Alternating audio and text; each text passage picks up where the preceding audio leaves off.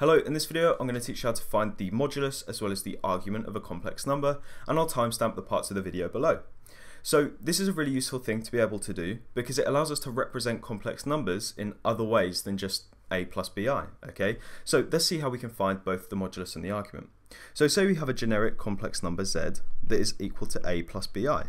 And in this example, a and b are positive, so we could represent that on our argand diagram like this. Okay, so z could be equal to a plus bi. And so this would be A and this would be B. And so the vector of this complex number would be something like that.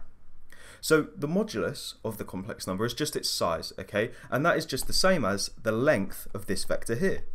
And so we represent that with the modulus bars, okay, z. So the modulus of z is written like this, and that is equal to this length of that vector. Now we could find that using Pythagoras, because if we draw a line down here?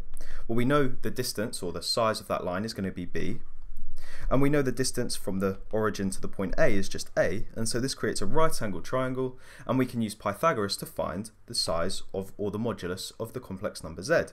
And so we can do that by taking the square root of a squared plus b squared. So that's pretty easy. The argument of the complex number, that's the size of the angle from the positive real axis, okay? And so if our complex number is above the positive real axis, then we measure it anti-clockwise going around, okay? And if it's below the positive or below the real axis, we measure it clockwise going around and it's going to be a negative size. And so I'll show you what I mean by that in the examples next. But for this complex number z, we measure it anti-clockwise round from the positive real axis. So it's going to be round like this. And the size of that angle say theta, that is my argument. And we write it like this. The arg of z is the argument of z. And so for that specific example here, we could find it by doing inverse tan because we've got the opposite and the adjacent. And so that could be given by inverse tan of the opposite side, so b over the adjacent side, a. Okay? So let me look, show you a couple of examples that will kind of demonstrate this, maybe a bit easier.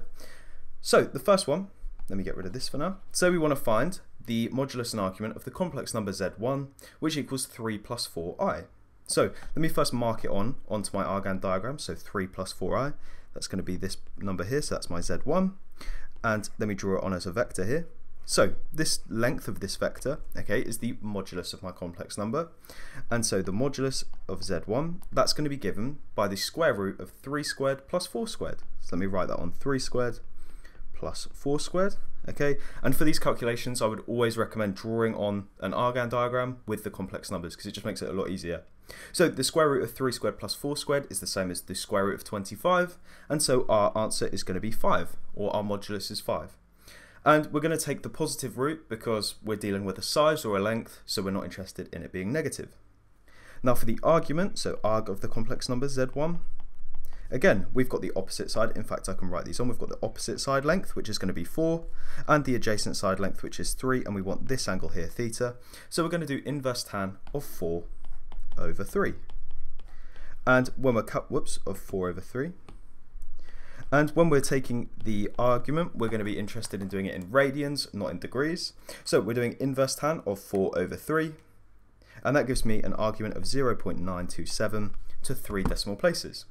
And so that would be the modulus and argument of z1.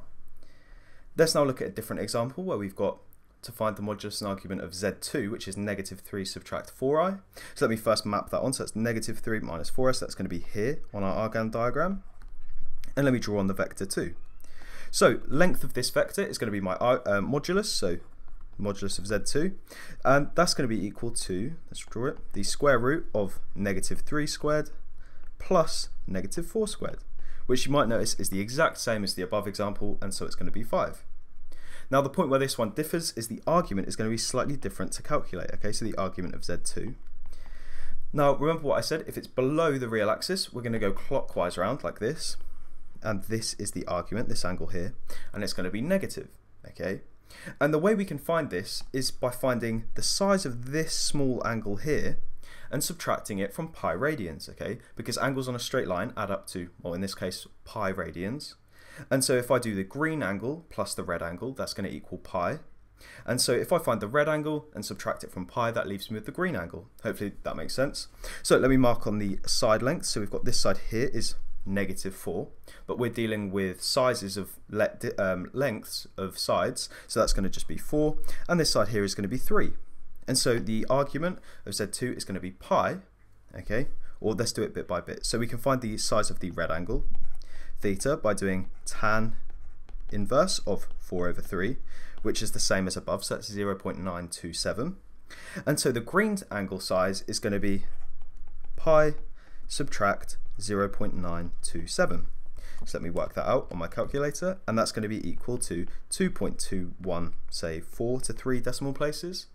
But remember what I said, it's negative if it's below the uh, positive real axis, or the real axis, and so the argument of z is negative 2.214, and that is the argument. So hopefully this video was useful. If it was, like, subscribe and share, and go over to my channel for tons more maths tutorials. Thanks for watching.